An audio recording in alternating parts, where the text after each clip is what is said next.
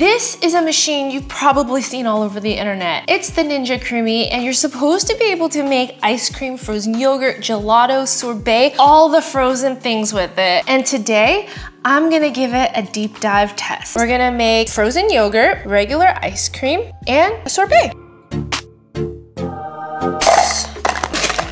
And now we have to freeze it for 24 hours. Now we are going to blend these babies up. Ice cream.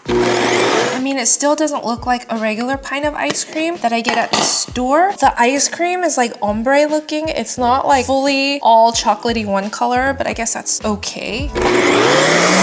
Ooh. Holy wow, smooth.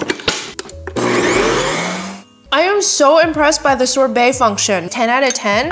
The ice cream gets 9 out of 10 and the yogurt gets 7 out of 10. Overall, it's pretty dang good machine and I would give this 9 out of 10.